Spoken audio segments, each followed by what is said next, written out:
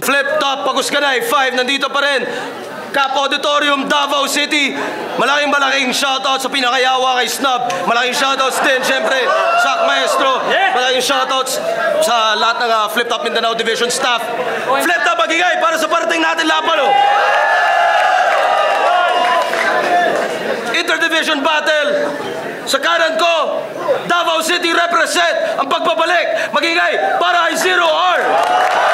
Lay, araw na binibilang bago ang sakuran. Ang sakripisyo kailan pa masusuklian. Nasa dulo ka na hindi pa pala tapos. Wala doon ang hinahanap mong sagot. Kailangan mo pa palang bumalik ulit. Kahit ang dinaanan mo ay humalik sa tinik Hinilamos na ang sariling luha. Kaya ba naburang pintang tuwa sa'yo?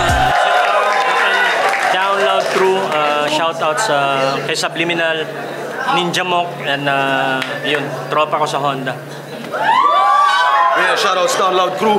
At sa kaliwa naman, galing pang silang Cavite para sa inyo. Magingay para kay MR Industria. At tanawin, ang mga pinapatakbo nito sa nasusunog na parang kunihal Ang bilat ng kumpalang silang tanging kapayabang Sarili lang ang sarili sa pagdating ng aking kamatayan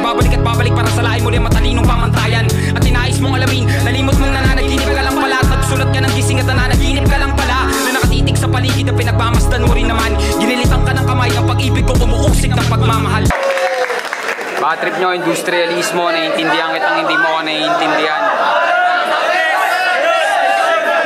Pinanunod ko ito si MR. Pinili niya mauna, Zero R. Pakinggan natin, unang banat, tig dalawang minuto dapat, Zero R. Check! Check! Walang may plano hanggang sa may malakas lang na tumama. Gustong balikan pero di mo na mabago ang sinulat sa pisara. Isang pagkakamali mo na nagdalawang isip ka ng laban na to ay tanggapin. Di ka pa rin ligtas sa nag-aklas kung bigla kong nasayad at napraneng. Ang boto makukuha sa dala mo na basura.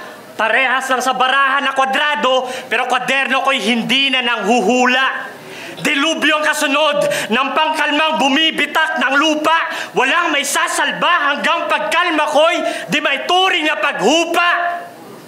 Kasi bobo ka pa, kaya bubo ka ang hiwa. Binabaklas ko lang talaga kapag inaayos ko ang sira. Gustong magkapangalan?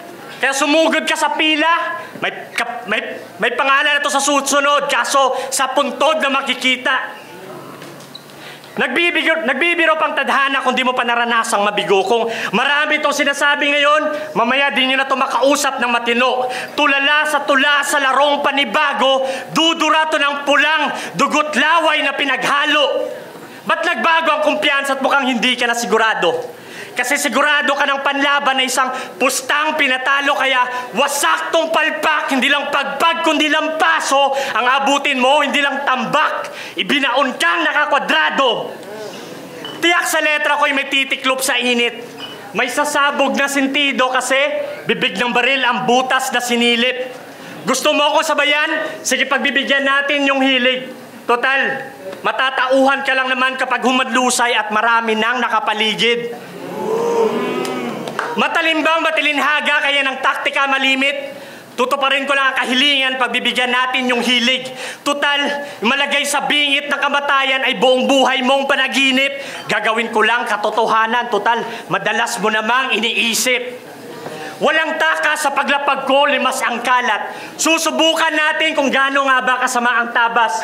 Oo, magaling ka. MR, time. Ay muna banat, MR, pakinggan natin. Hindi ako magaling, may sakit ka lang. Patong-patong ang bigat mong papasanin.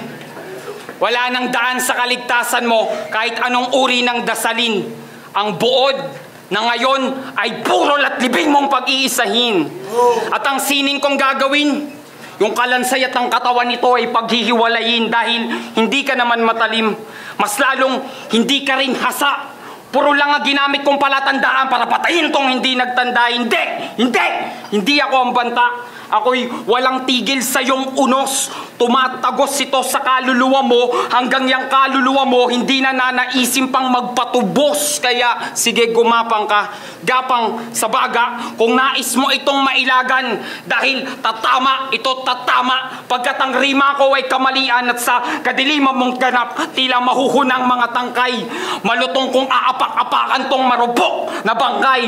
Makakaramdam ka ng panghihina hindi dahil sa may kahinaang kantaglay kundi dahil kaharap mo ko may makatang makikita mong saklay mula sa iyong pagkalumpo nitong nahinog daw ng husto. Pwes ang paglapag ko dito sa Davao ay tukso para balatang ka ng husto, gunawin to at biguin ka na rin sa sarili mong mundo. Dahil hindi ka na magtatagal, hindi, hindi, hindi ka nagtagal. Aral kitang pinakinggan pero hindi ka dapat aralin kasi hindi ka naman aral. Tikman mo na lang ang pusok ng mga linya kong nagmamahal. Unti-unti ka na itong pinapatay habang nabubuhay ang tunay na imahe ng pagtatanghal. Ititigil nito ang iyong paghinga kahit sa isip ito sumasakal habang pinapanood ka ng mga yan na sa harapan ko nagpapatiwakal. Maaabo lang yan layunin mo. Malulusaw ka kasama ng buo mong karanasan. Tingin nyo dito bangayan, tingin ko dito bitayan na mga tulad mong itatapat sa akin pero hindi naman tumatapat sa konsepto kung sa sining ay lulong. Bumabakas, tila sa musika sa tenga ang pag-iyak mong binubulong. Ginutom ako ng industrialismo pabalik para sunduin tong nagtutunog gutom. Sa edad mong yan magsisimula pabalik kang pabata hanggang sa sinapupunan ng ina mo, mamamatay ka ng paurong. Time para balance ito or fight na natin. Yeah. Flip top mag-ingay! Pero bakit walang kumukulog na tunog? Kasi pag si Emar yung lumalaban, puro sa lagubang ang nanunood. At gusto mong, at, at lahat ng mga magagaling na rapper ay isa-isa na ang pinatawag. Halos lahat galing sa tamod ni Luni. Pero lang ikaw kay Ed Kalawag. At ang sabi mo kay Topper, hindi ako kumakain ng utak, ang kinakain ko ay isip. Sira ulo ba to? Yung sungay daw niya ay tinutubuan na ng sungay. Pota, ang laki nga ng problema mo. Pati si Aklas kumuha na ng translator na kumausap sa'yo. At si Tweng, si Tweng walang ma-visualize na prop sa sobrang labo mo. Pero alam kong may breeding ka. Pero wag kang feeling gwapo. Biglang inspired si Gago. Hoy, naungkag pudel nga gakalo. Sa ngayon, wala bukas, magdadalamhati ito sa kasikatang inaasam. Ako yung di inaasahang bubuta sa yung sikmurang kumakalam. Alamin mo muna ang takot bago ka magtapang. Patayin muna natin ang pagtibok upang di ka kabahan. Bago ka mapanatag sa iyong masamang binabalak at sa planong nakalatag sa impormasyong nasagap, saka ka magpasalamat. Dahil sa oras mo ngayong mapasabak, palpak ang palakpakan kung ang panalo'y di mo pa hawak. Suntok ay may ganti. Ang tanong sinong napuruhan. Daloy parehas mahapdi. Ang tanong sinong nabulunan. Paksa ng aralin ay buka ng barel at ikaw yung mahirap na turuan. Kaya sa lahat ng mga naging kalaban ko, ikaw yung gusto kong tutukan. Sabay kalabit, sabog, dinamaan ka sa maling pinasok. Mapanibong hardin, hindi, ito'y palayan ng dagok. Bangkay mo sa sahig, ba't ko nga naman ibabalot kung pwede namang sunugin total ang katawan ay napapagod? Tamaki akong linya hantod mabikog, murag hagdanan sa imong kaisog, ay lang paminawa akong tingog, sa Gmall na napoy bagong maghikog. Baka sabihin brutal sa akin, di na uungol to. Isang purong patama malinis ang pagkaputol ko ng mga parte yun yung sinayang na oras na ginugol ko para lang mapapunta at makiramay si kamatayan sa lamay mo. Sukat yung laman na hihiga, walang sumobra sa troso. Kung ang pagsiray sa loob ng gagaling, walang tatagal sa trono. Matalino ka nga siguro, ganito mag-isip ang bobo. Kaya atat akong pagutan ka para may magamit akong ulo. Tapos na ako kay Tweng. Sayad, Epok at Sak, si Emar na ang bubuo. Pag tinumba ko na yung lima, kompleto na yung uprising na simbolo. Ano ba natin, mga industriya, fight na natin. Usapan nga pricing. Musika ang dapat nating pag-usapan at kung musika ang dapat nating pag-usapan, wala na tayong dapat pag-usapan. Ginamitan mo ako ng lengguwahe nyo dito. Hindi ko naiintindihan. Kaya mas nagmukhang hindi yon para sa akin, mukhang para sa kanila. Huwag mo nang isipin yung mga yan. Iiwanan mo rin yan kapag pinauna na kita. Eh, nagpapakalasing lang naman akong humu- umukit ng letra kaya ako hubog. Akong humubog ng apoy sa iba't ibang hugis kasunog. Wala kang lakas, wala kang kayang wasakin. Isa ka lang kulog, isang ingay. Ako'y mababa na kidlat na hahati sa puno ng iyong buhay. At ang susunod na palabas ay siyang masyadong marahas. Lalaslasing ko leeg mo gamit sungay na pinutol ko kay satanas. Yang ulo mo, Pakukuluan ko yan sa dugo ng mga arkanghel. Matamot utak ay pupulutaning kainuman ko si San Miguel. Daw laman. Wala daw laman. Puro sebo lang at taba. Patunay lang na mahusay lang sa pagbuga pero walang tibay ang gawa. Tibag agad sa aking alog, hindi ko pa nga to binabangga. Kung, itituy, kung ititigil ko ang uga sa'yo, titigil ka rin sa paggawa. Oras ay ang pagtigil din ng iyong galaw. Ako'y paningin mo sa pagtanaw, bagyo sa iyong tag-araw. Metaporang malaalon, lulunurin tong uhaw. Hindi ka sa hangin kukulangin ng kukulangin ay ikaw. Dahil kulang ka, kulang pa. Hinog ka lang sa pilit. Kulang sa tiwala sa sarili itong yelong bilad sa aking init na kahit na ipilit ang liresismo mong pinilit lang, liliparin ka lang ng hangin kung pumapatay kapag umihip. Kaya langoy, sa dagat-dagatang kong paghahambing, sige langoy, isa kang basurang naging kalat din. Pasing, pasa, pasalin dila ang paksang hindi mo kayang puksain. Tirikmata kang hindi natutunawan sa bigat ng aking wikain. Nakuha ba? Palagay ko ay hindi. Dahil kayong mga takot na takot umunawa sa mga bagay na hindi abot ng pag-intindi. Kaya bakit ako nandito? Ikaw bakit ka nandyan? Papasok ka pa lang, wala na akong dapat labasan. Sa sobrang bango ng magiging kamatayan mo, ipapasindi kita sa mga yan. Pero pagkatapos ko tong himayin at tanggalan ng buto, ibabalot ko sa papel ng aking kalaman. Para pagsindi nyo, sabog kayo. At maligayang pagbabalik para sa madilim mong katapusan. Tayo muli na zero or pakinggan natin? Walang mainit na pagsalubong o handa ang maglarbo. Ito'y direktang pangwasak sa simpleng pagsargo. Madiin na linya ang bubutas sa sulok ng kwadrado. O may round ka nga, pero kung di marunong sa angulo, di ka na makakahawak pa ng tako.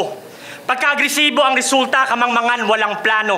Umaasa lang sa halang na bituka, pulutan lang naman sa plato. Pinakamabenta mo na linya ay mura. Ako tila Bibliang sagrado na sa una maraming duda pero pag nagipit, may napapaluhod na tao.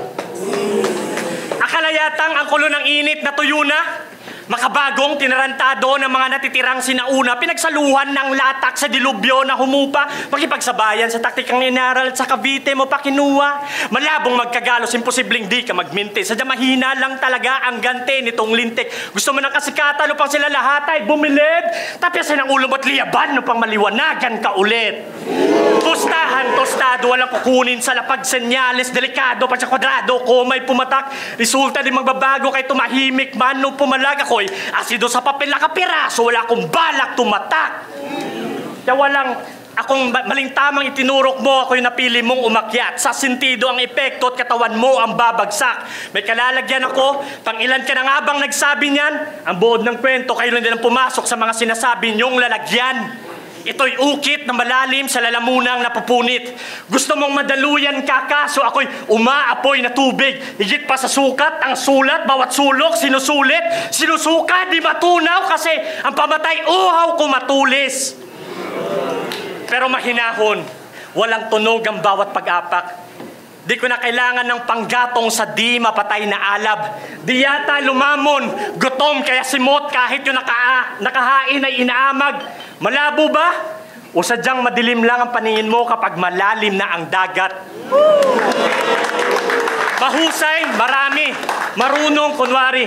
Kaya tinatablakot gagamitin pang karpinterong lagari. Naging lagda ko na't dinalihim ang masama kong ugali. Kaya sa harapan nyo, ito'y garote at siyang nahatulang pari. Nakakadismayabaw, nakaka, nakakadismayabaw, nakakaumay, nak, nakasanayan. Ang salita'y laro sa iba, ang salita ko'y pumipinta sa utak ng larawan. Ang ibig ko lang naman sabihin, kahit preparado ka, para sa akin, ikay handa lang. Kung matalino ka, ang utak ay martilyo at ang isipan mo lansangan. Sana naging pamilyar para di ka nanibago. Kung ang pag-intindi mo ay literal, akala mo walang dumapo. Isa ka sa mga material na sa kalidad hindi pasado, wala kang sentimental na halaga kaya huwag kang emosyonal kapag natalo. Time. Tayo ulit pa natin, mga industriya, may. Ang lakas. lakas ng boses. Triple. Triple ang bigat mong papasaning sa ikatlong pagsusulit. Kung sa una't pangalawa ka nagusot, sa pangatlo ka mapupunit. Ang entabladong to ay puno na ng aking mga guhit.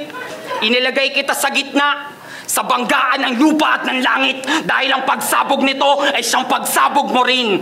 Bumaba ako para magtanim at pitasin kang hindi na dapat palaguin. Kung hindi ka masunurin, susunod ka pa rin. Hindi ka susunod, isusunod ka pa rin. Kakalad ka... Kakalad ka rin ko ang pananampalataya mo, hihigupin ko ang sabaw mong paniniwala. Mumumugin ko, tapos idudura ko rin sa'yo para sa'yo hindi ka na maniwala. Ito, ito ay blankong papel sa tala-arawan mong ito ang huling kabanata. Walang sulat, pagkat sa talahulugan mo'y walang tumatak na talata. Ganyan magpahayag. Hindi! Hindi! Ganito magpahayag. Kaliwa pero komunikatibo. Iko-komento pa lang ang komento. Itong magko-komento ay wala ng ulo. Kaya kung inalam mo kung gaano kalakas, kahinaan yun.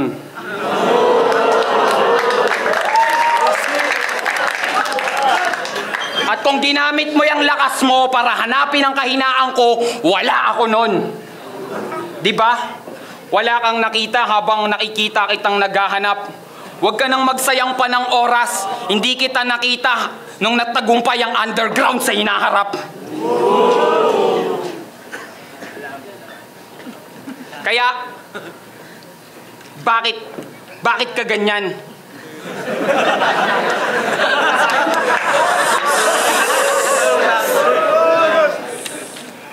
Nakakabingi lang talagang kadiliman, liwanag. Pero nakakalakas ito ng pairamdam. Nakakasilaw ka naman liwanag, nakakabulag ka ng pairamdam. Minsan liwanag, pumunta ka naman sa aking dilim, hindi para ikumpara natin ito, kundi para maintindihan mong baliwala yung liwanag mo kung walang dilim na yumayakap sa'yo. Kaya...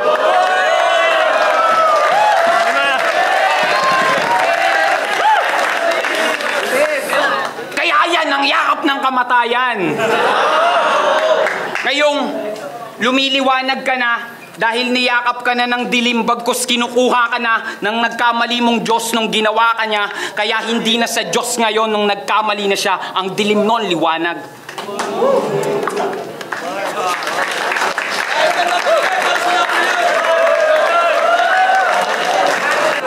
Na ay 5, 0 R versus MR Industria.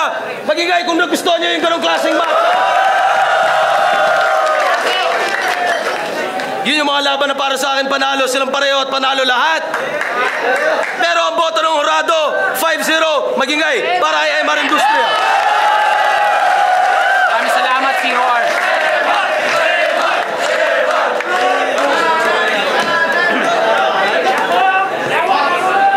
Susunod na laban din. Huwag muna kayo umalis. Susunod na laban agad.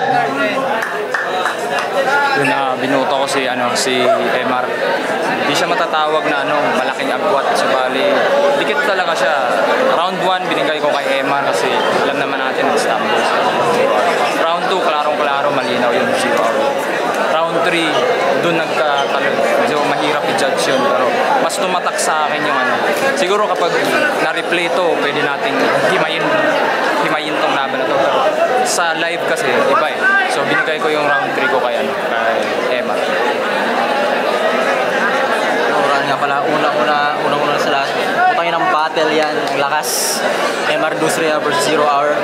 Pero kailangan mamili ng panalo, so binoto ko si MR. Round 1, nakuha ni MR, sobrang linis kanyang performance. Tapos kita-kita naman yung round 1 ni Zero Hour, parang putol.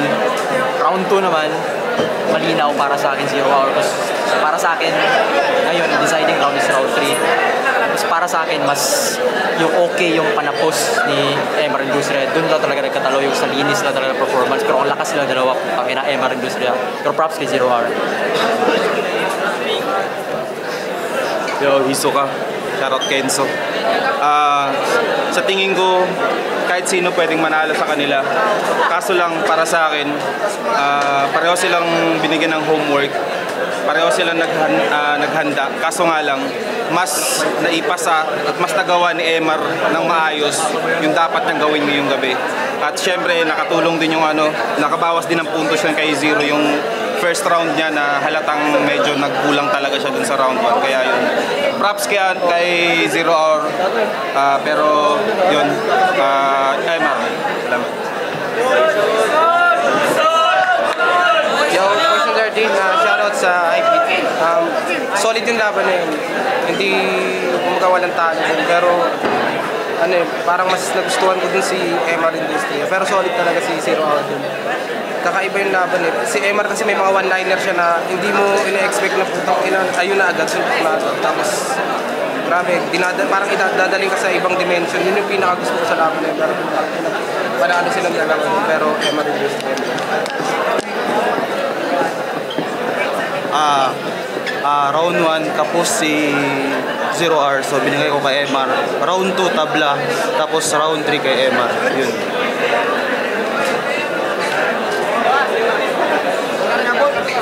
Tinatawag mo ako,